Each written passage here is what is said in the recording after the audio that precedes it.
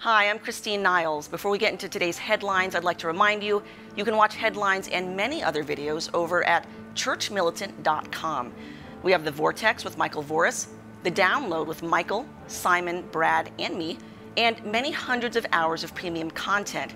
We also have the latest, most relevant Catholic news and commentary and articles posted daily on our site at churchmilitant.com. So please click on the link after this video, and we'll see you over at our site.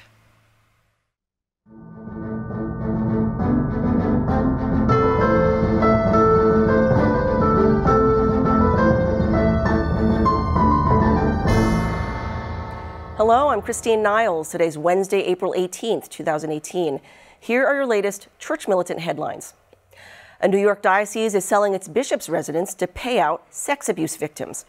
Bishop Richard Malone of Buffalo said Tuesday his Oakland Place property will be sold to fund the victims' compensation program to settle claims of priestly sexual misconduct. Malone insisted in his statement, quote, this move underscores the importance we place on helping the victims of abuse to begin healing.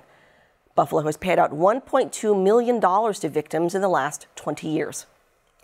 A New Jersey prelate is forecasting a paradigm shift on homosexuals in the church. Speaking at Villanova University last week, Cardinal Joseph Tobin of Newark said the place of gays in the church is a difficult topic for some Catholics, but reassured his audience the church is moving on the issue of same sex couples. Tobin asserted the church is leaving behind strict definitions of what it means to be Catholic, saying, quote, it is only the Lord who ultimately judges who belongs or who does not belong. An Oregon man is refusing to pay taxes in a protest against abortion. Michael Bowman has refused to file a tax return since 1999, claiming his Christian beliefs against abortion prevent him from financially supporting the government. And 55 million babies have died in the United States since I was born thanks to abortion. 55 million. I don't want to pay for that. A federal grand jury indicted Bowman last year, claiming he owes $350,000 in back taxes.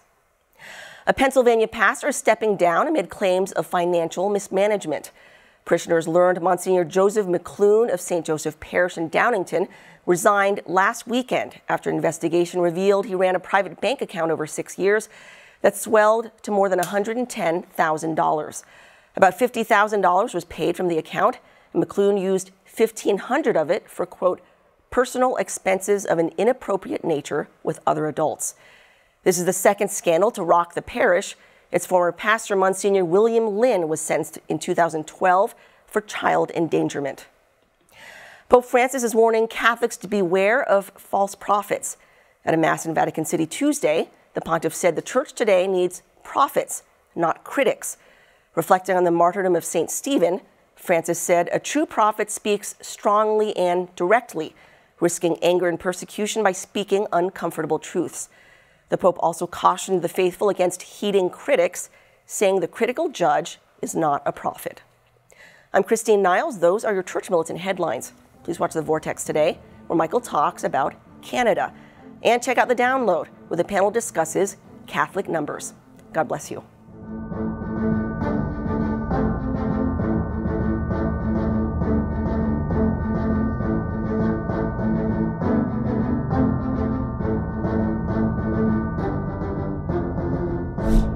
Thanks for watching Headlines today. And if you haven't already, please be sure to subscribe to our YouTube channel where you can watch headlines along with the Vortex and free episodes of the download.